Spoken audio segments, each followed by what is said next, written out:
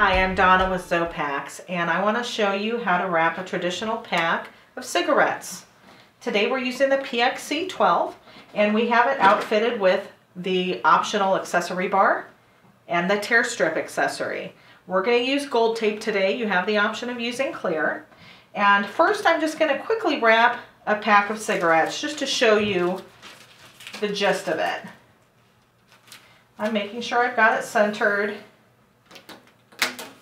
And as I pull it across, we quickly do the sides nice and easy. But now I want to slow it down. I want to show you exactly what I'm doing here step by step. So we're taking the box and first we're going to make sure we're centering it on the film. And what I want to do is make sure I basically have equal amounts on either side of that. When I do my overlap here, this is the part that's going to fold over. I want it to be a little bit less than the depth of the box. So I'm going to center this and then I'm going to make sure I've got my thumbs pulled away. When you're working, even with a small box like this, your tendency is to keep your thumbs up high. But we want to bring our thumbs a little bit farther back, and we're going to do that consciously because once we start working with the heated elements, that's going to be important. So with my thumbs back, and I've got it centered, I'm going to take my index fingers and just press that edge against the box. Once I've got that pressed against the box, I'm sliding my fingers out of the way. So my fingers are now away from the edge of the box. That's going to go across the heat panel. But they're also still holding that piece of film intact.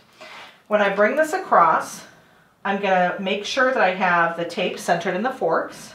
And then I'm just to come down and press. Now, a couple things I want to point out about what just happened. As I'm bringing it across, I'm also taking this edge of the box that's toward me and I'm dropping it down.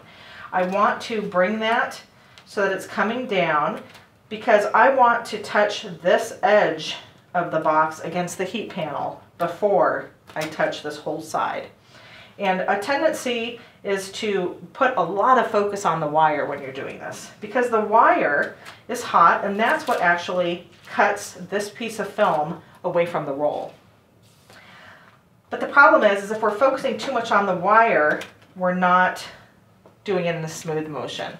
So we're going to bring it across. We're going to make sure that the tape is centered in the fork. And we're just going to ignore the wire and just tap here and press. And you can see when I do that, it gives us this nice clean seal. And we're going to move on to these end pieces. So to get these ends folded in, we're going to use our index fingers and press just like so. And you can see I create two flaps when I do that. We're going to focus on those flaps one at a time. So I do this to create the flaps, and then I roll my fingers out of the way and roll that flap out of the way. We're going to focus on this first one. So we're going to tap and then flatten. And then we're going to tap and flatten. Perfect mitered edge. Let's do that again. We're going to press, use our index fingers. We're going to roll one of those flaps out of the way. and Then we're going to tap and roll and then we're going to tap and roll.